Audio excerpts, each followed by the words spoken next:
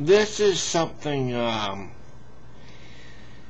oh, I'm sure there are, if, if, you, if you have been watching my videos, you would know what I'm talking about if, uh,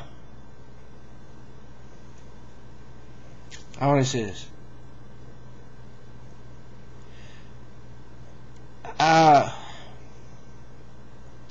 how many of you know how to tap a cow? How many of you know what that even means? And why would you have to do it? And why would you have to do it in this time of the year? Well, I had to do it today. I had to tap a cow.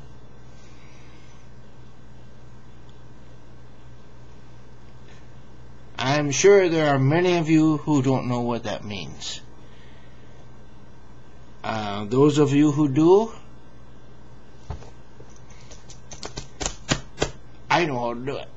And what side of the cow do you do it on? And why would you do it? I'm expecting a lot of comments on this one here. You don't have to. but um, those of you don't know what tapping a cow means, or what side of the cow to do it on, and why you would do it in the first place, um, why don't you give me your best guess? That's all I'm going to say for right now. This is Ronnie Boy. And I just got in now out of the pasture. Okay, that's that's one clue. But uh, generally don't happen this time of year. That really kind of surprised me.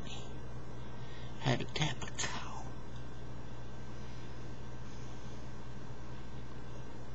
Oh. Maybe in some other parts of the country you don't call it tapping a cow, but here all the veterinarians do and everything like that. I, I take care of a lot of my own veterinarians kind of stuff. But uh, no, uh, those of you know what it is, shh, shh, shh, shh. be quiet right now. Let the rookers guess what it is. but uh, don't generally have to do it this time of year. And uh, those you know what it is, you'll know why too. But I had to do it today. Uh, cow's still alive. Had to tap a cow. Tell me what it is. Now you guys who know what it is, shut up for now.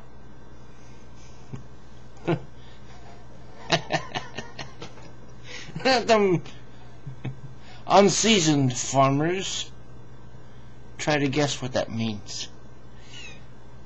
Now, if somebody don't guess it, I'm going to leave it up to you guys who are farmers. Tell them what it is. Alright.